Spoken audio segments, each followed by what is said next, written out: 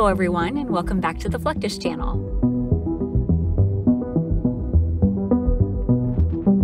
Littoral combat ships are small surface vessels designed for near-shore operations.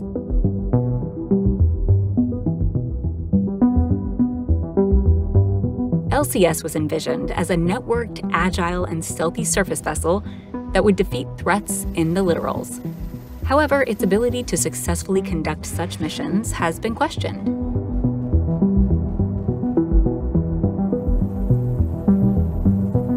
There are two variants of the LCS the Freedom class and the Independence class.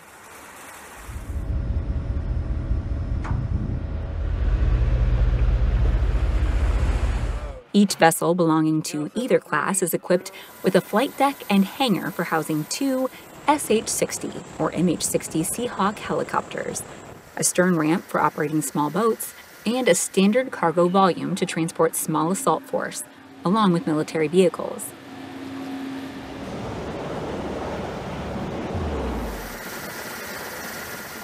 To support attack missions and for defense in the waters, the LCS is equipped with armaments such as the Mk-110 57mm guns and RIM-116 rolling airframe missiles.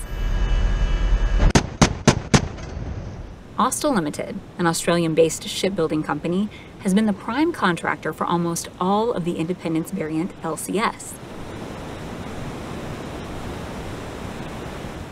They were responsible for everything from designing and construction to commissioning and christening the ship. Initially, the LCS designers developed parts of the LCS individually and collectively on the software. Once the design of the ship is completed, it is time for the actual work. The parts are cut into shape and joined together.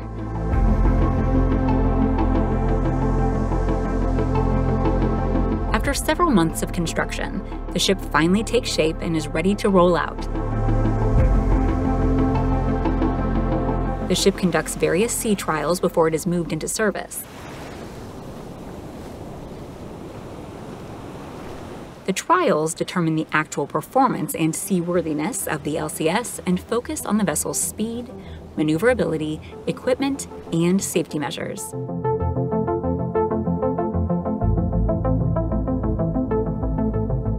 If LCS passes the sea trials and is deemed seaworthy, it is finally commissioned and moved into service.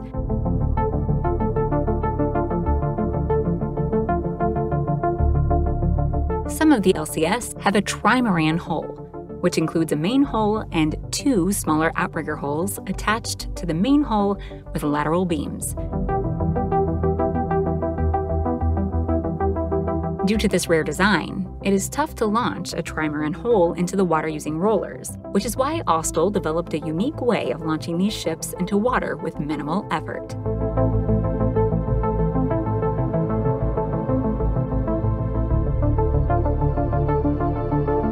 The years, the launch process has really um, evolved. It used to take hours to roll the ship out. Now I think we just rolled this one out in about 20 or 30 minutes. So it's very efficient.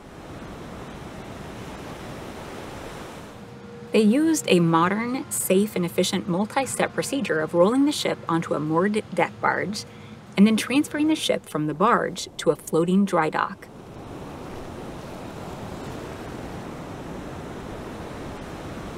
The dry dock was already submerged, which allowed the ship to float on the water for the first time. Finally, the dry dock was removed and the ship was ready for sea trials. During sea acceptance trials, major systems and equipment of the LCS are comprehensively tested to demonstrate their successful operation and mission readiness.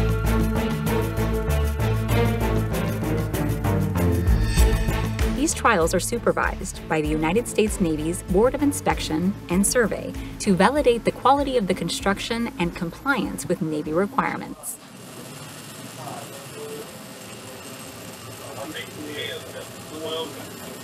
These sea trials go a long way in ensuring the crew's safety and safeguarding national interests.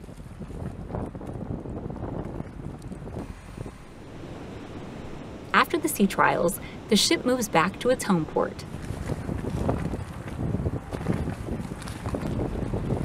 For instance, the Independence variant littoral combat ship USS Augusta arrived at its San Diego home port after completing all assessments, certifications, and advanced training requirements in Mobile, Alabama.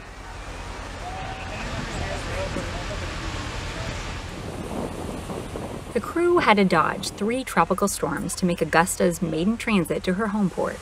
It was an unreal experience for the sailors on the all new LCS. Many of the initial LCS was developed by Lockheed Martin.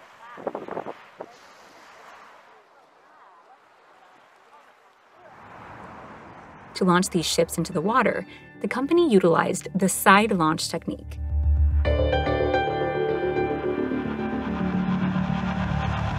It is a unique way of launching an LCS into the water for the first time while avoiding any damage to its exterior.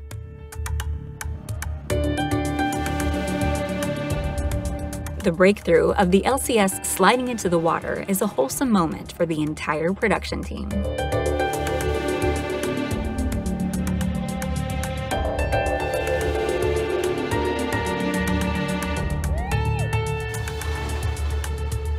Initially, the ship is placed on a steel frame, which is attached to several slanted beams. When these beams are released, the LCS leans on one side and slips into the water due to its own weight.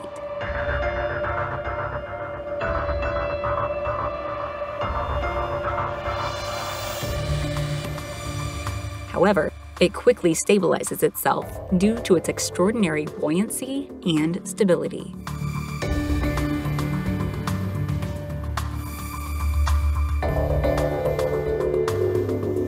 The side launch technique may also be used to launch a commercial ship into the water, such as the Maersk connector.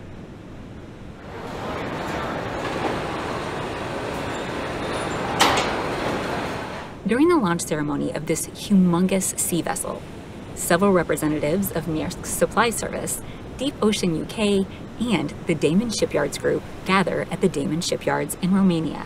This was a very special occasion for everyone present at the ceremony.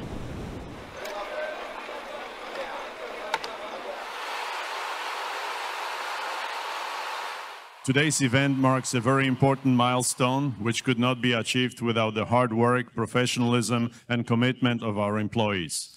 You should be proud of yourselves and the work you have done. The Maersk connector was also placed on a steel frame. However, it was held on by ropes. Once it was go time, two of the crew workers used axes to cut the ropes.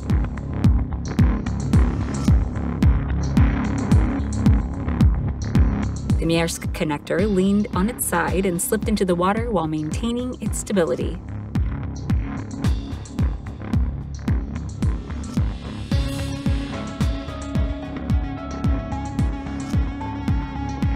Unlike other launching methods that use fixed infrastructures, airbag launching has relatively fewer limitations and can be used in versatile ways. It is an innovative and safe technique to launch ships into water. Typically, these airbags are cylindrical in shape, with hemispherical heads at both ends.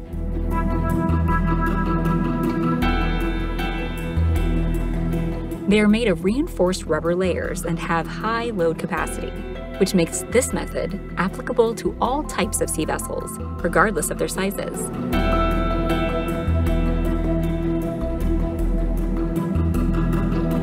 The airbag launching technique is arguably safer than other options like sideways launching, mainly due to the fact that the airbags provide additional support to the hull of the ship.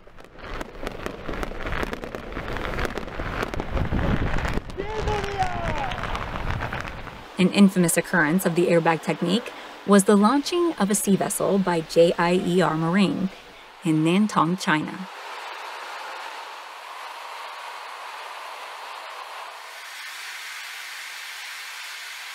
During this launching event, the vessel was lifted and moved to the launch position with airbags.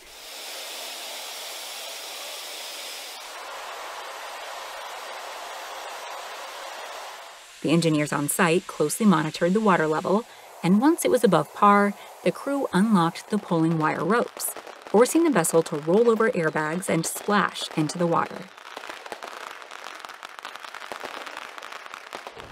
Another renowned technique for launching ships is the steel blade slide method that was applied for the launch of the multi-purpose offshore vessel MV Dina Polaris at the Besiktas shipyard in Turkey.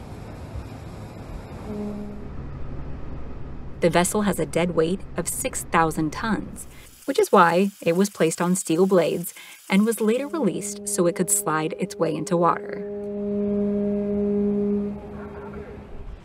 It is important to continuously maintain sea vessels to extend their lives.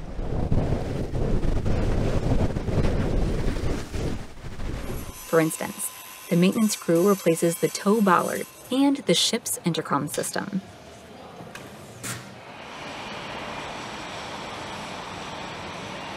They also maintain the shafts of the propeller blades, the gear motors, and a bunch of other stuff on the ship. The maintenance crew has to replace the main engines of the ship, which further requires them to remove the old piping of the engines.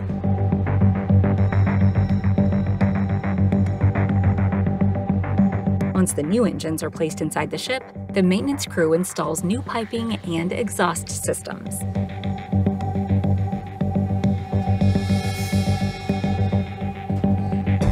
Finally, the crew replaces the lube oil, fuel oil, and compressed air, and the ship becomes ready to roll out. Sometimes it becomes necessary to modify sea vessels to meet the increasing demands of the ocean.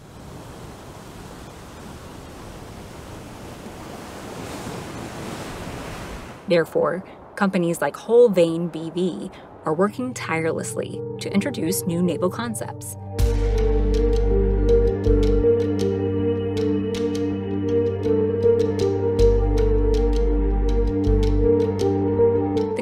Hallmark product is the Hull Vane, an underwater wing mounted under the stern of a vessel that recovers energy from the stern wave by converting it into forward thrust thereby increasing efficiency by reducing resistance and fuel consumption.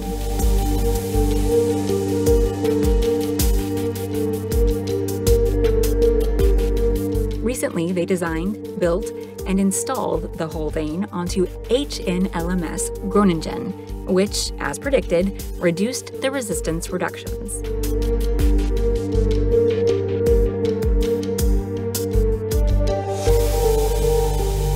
In addition, the top speed of the vessel was increased to 21 knots, and pitching and yawing motions were reduced, which increased the onboard comfort drastically.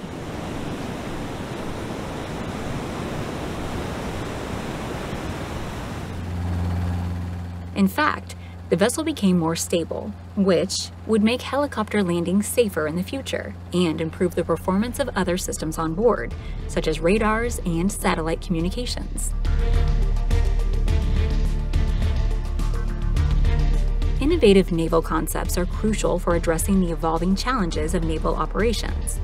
Ensuring that sea vessels remain agile and effective in response to increasing demands, technological advancements, and the complexities of modern maritime environments.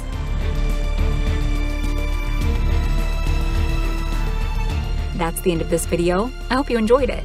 Make sure to subscribe to this channel so you don't miss any of our new content. See you next time!